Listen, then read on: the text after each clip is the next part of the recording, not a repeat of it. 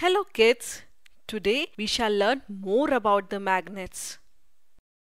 In our earlier class, we saw many uses of magnets in compass to know the direction, pencil box with magnetic lids, magnetic stickers, in motors, generators, in making speaker in TV, radio, sound box.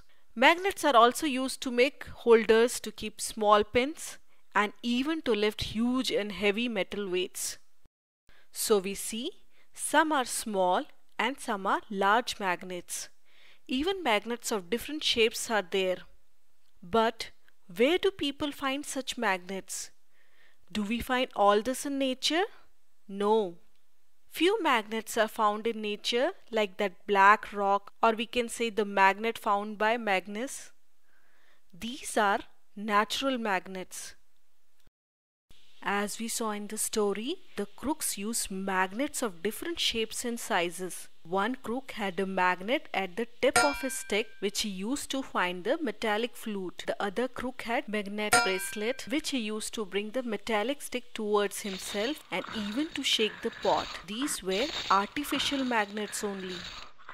Not all magnets are found in the nature. We humans cannot increase the power of natural magnets as desired. Also, they are not found in the perfect geometrical shape to be used in machines and devices. So we found many ways to make powerful magnets of desired shape and even strength for the use. This kind of man-made magnet is called an artificial magnet. Humans have made magnets of many shapes. Bar magnet, U-shaped horseshoe magnet, ring magnet, cylindrical magnet, ball-ended magnet, etc. are the most famous ones. Now you must be wondering how to make a magnet. Is it very hard and can only be made in factories? No, we can make our own magnet too. Surprising, isn't it?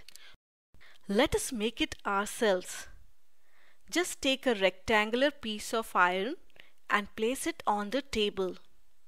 Now take a bar magnet and place one of its pole, say the north pole, on one end of the iron piece, say on point A. Now drag the magnet on the iron till the other end of the iron piece is reached.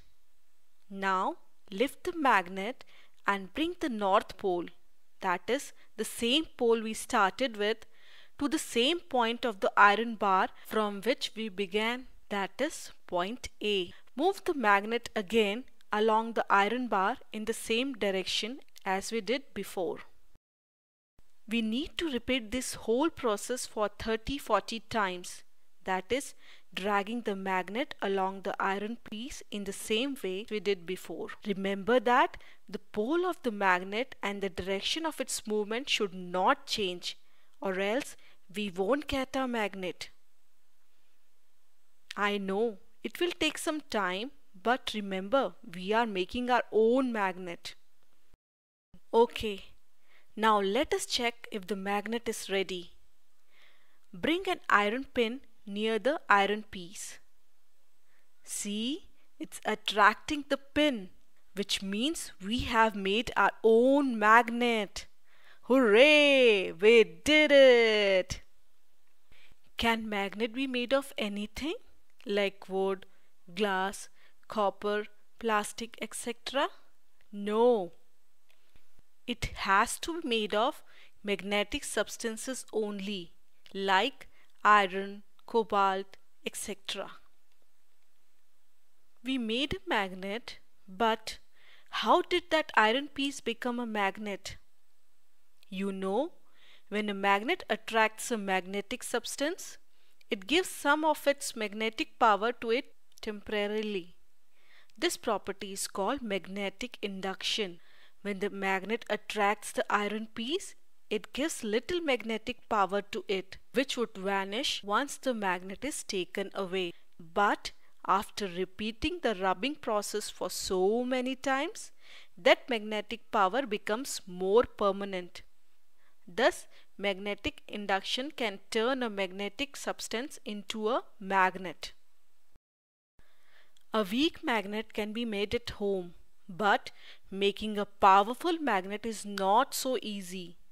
We also need to handle magnets properly or else they become weak or even lose their magnetic power. So how can a magnet lose its power? A magnet can lose its power in many ways like heating a magnet or striking it hard can take away its power. Also, dropping a magnet from height can decrease its power. So, we should handle it with care. You know, magnets can become weak even if they are not stored properly. So, what can be done to avoid this? Bar magnets should be kept in pairs with their opposite poles on the same side. They must be separated by a piece of wood while two pieces of soft iron should be placed across their ends that is one piece at each end. In case of the horseshoe magnet, iron piece should be kept across the poles. Lastly, a word of caution. Strong magnets can harm the weaker magnets. So, we should keep the strong magnets away from the electronic devices that use magnet like TV, computer, speaker, CDs, mobile phones, etc. Let us take care of the magnets and keep the useful machines running. Have fun with magnets. Bye bye children.